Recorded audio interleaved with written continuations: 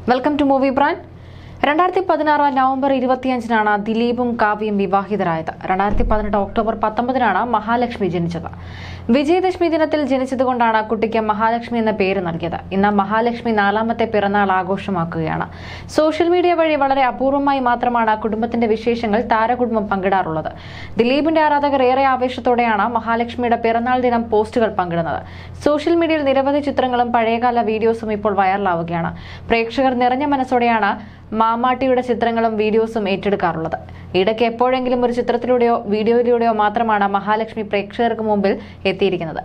എങ്കിൽ ആ മുഖം ആഴത്തിൽ തന്നെയാണ് ആരാധകരുടെ മനസ്സിൽ പതിഞ്ഞിരിക്കുന്നത്. മീനാക്ഷിയും മഹാലക്ഷ്മിയും നല്ല കൂട്ടാണെന്ന് എല്ലാത്തിനും അനിയത്തിക്ക് ചേച്ചി മതിയെന്നും ദിലീപും കാവ്യയും നിരവധി തവണ പറഞ്ഞിട്ടുണ്ട്. ചേച്ചിക്കൊപ്പമാണ് മഹാലക്ഷ്മി പല ചിത്രങ്ങളിലും എത്തിയിട്ടുള്ളത്. മഹാലക്ഷ്മിയുടെ പിറന്നാൾ ദിനം എത്തുന്ന പുത്തൻ ചിത്രത്തിനായുള്ള കാത്തിരിപ്പിലാണ് ഇപ്പോൾ ആരാധകർ. അതേസമയം നടി ആക്രമിക്കപ്പെട്ട കേസ് ഇന്ന് വീണ്ടും സുപ്രീം കോടതിയുടെ പരിഗണനയിലാണ്. കേസിലെ എട്ടാം പ്രതിയായ ദിലീപ് നൽകിയ ഹർജിയാണ് സുപ്രീം കോടതി ഇന്ന് പരിഗണിക്കുന്നത്.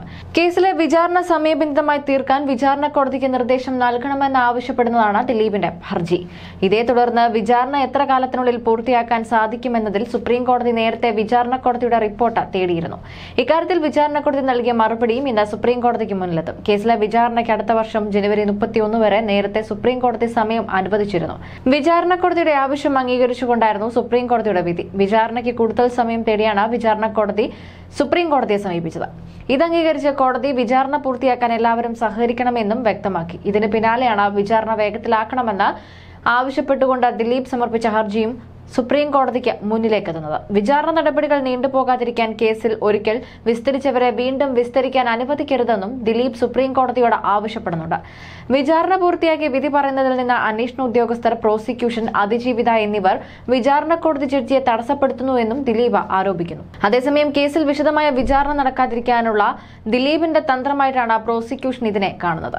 ദിലീപിന്റെ മുൻ സുഹൃത്തും സംവിധായകനുമായ ബാലചന്ദ്രകുമാർ പുറത്തുവിട്ട തെളിവുകളുടെയും വെളിപ്പെടുത്തലിന്റെയും അടിസ്ഥാനത്തിൽ കേസിൽ ക്രൈംബ്രാഞ്ച് തുടരന്വേഷണം നടത്തുകയും ഒട്ടനവധി പുതിയ തെളിവുകൾ കണ്ടെത്തുകയും ചെയ്തിരുന്നു. ദിലീപിനെതിരെ കൂടുതൽ കുറ്റങ്ങൾ ചുമത്തുകയും സുഹൃത്ത് ശരത് കുമാറിനെ കൂടി കേസിൽ പ്രതിയായി ചേർക്കുകയും ചെയ്തു. ഇതേ തുടർന്ന് നേരത്തെ വിസ്തരിച്ചവരെ വീണ്ടും വിസ്തരിക്കാൻ പ്രോസിക്യൂഷൻ തീരുമാനിച്ചിരിക്കുന്നു. ഇതും കൂടെ മുന്നിൽ കണ്ടാണ് ദിലീപ് ഹർജിയുമായി സുപ്രീം കോടതിക്ക് മുന്നിലേക്ക് എത്തുന്നത് തന്റെ മുൻ ഭാര്യയും ഒരു ഉന്നത പോലീസ് ഉദ്യോഗസ്ഥനും തന്നെ കേസിൽപ്പെടുത്തിയതിന് ഉത്തരവാദിയാണെന്നും ആരോപണവും ദിലീപ് ഹർജിയിലൂടെ ഉന്നയിച്ചിരുന്നു. നടി ആക്രമിക്കപ്പെട്ട കേസിലേക്ക് തന്നെ വലിച്ചിഴച്ച പോലീസ് ഉദ്യോഗസ്ഥൻ നിലവിൽ ഡി റാങ്കിലാണ് സേവനം അനുഷ്ഠിക്കുന്നത്. കേസിന്റെ വിചാരണ നീണ്ടുപോകുന്നത് തന്റെ പ്രൊഫഷനെ ബാധിക്കും എന്ന് തുടങ്ങിയ കാര്യങ്ങളും ദിലീപ് സൂചിപ്പിച്ചിട്ടുണ്ട്. അതേസമയം കേസിന്റെ വിചാരണ നിലവിലെ കോടതിയിൽ നിന്ന് മാറ്റണമെന്നാവശ്യപ്പെട്ട് അതിജീവിതയും സുപ്രീം കോടതിയെ സമീപിച്ചിട്ടുണ്ട്.